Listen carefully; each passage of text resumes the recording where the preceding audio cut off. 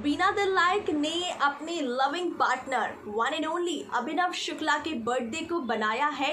काफ़ी स्पेशल इस special post के साथ। तो इस स्पेशल पोस्ट में रुबीना ने क्या कुछ किया है? शेयर बताऊँगी आपको इस वीडियो में। नमस्कार, मैं स्निग्धा, स्वागत करती हूँ आप सभी का हमारे चैनल पर। आज है अभिनव शुक्ला का हैप्पी वाला बर्थडे और हैप्पी वाले बर्थडे को उनकी loving partner Rubina the like और भी ज़्यादा स्पेशल बना रही हैं। वेल गाइज़ आपको बता दूँ कि रुबीना द लाइक ने बहुत ही प्यारा सा पोस्ट शेयर किया है, जिसमें वेल अभिनव शुक्ला की एक तस्वीर शेयर की है और एक पिक्चर में रुबीना ने खुद के साथ अभिनव की पिक्चर शेयर की है। इसमें रुबीना लिखती है you are the correct example of a great gentleman मतलब मैंने आज तक ऐसा जेंटलमैन नहीं देखा।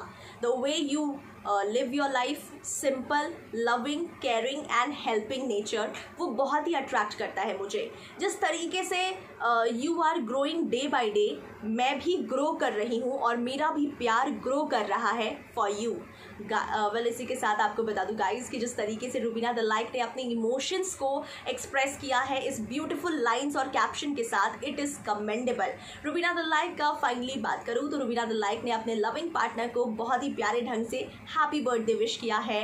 और इसी के साथ आपको बता दूँ कि बैक टू बैक अब अभिनव शुक्ला के बर्थडे के मौके पर blessings wishes back to back उन्हें बर्थडे ब्लेसिंग्स मिल रहे हैं रुबीना के इस पोस्ट पर। सो वेल फैंस लगातार अभिनव शुक्ला के बर्थडे के मौके पर सुपर एक्साइटेड नज़र आ रहे हैं और काफ़ी सारे ब्लेसिंग्स और विशेस दे रहे हैं। सो so वेल well, हमारी पूरी टीम की तरफ़ से अभिनव शुक्ला को many many happy returns of the day लेकिन आप किस बात की देरी कर रहे गाइस जल्दी से जल्दी अभिनव शुक्ला के बर्थडे को और भी स्पेशल बनाइए अपने विशेज और ब्लेसिंग्स को भेजकर हमारे कमेंट सेक्शन के थ्रू तमाम बॉलीवुड टीवी दुनिया से जुड़ी हर एक खबरों के लिए देखते रहिए हमारा चैनल